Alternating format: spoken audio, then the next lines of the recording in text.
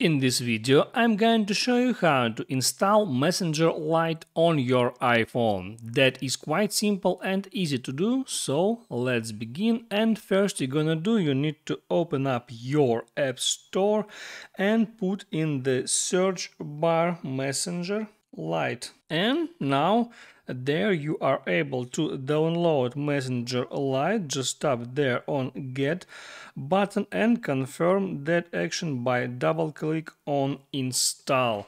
Now you know how to install Messenger Lite on your device, so hit the like button and don't forget to subscribe.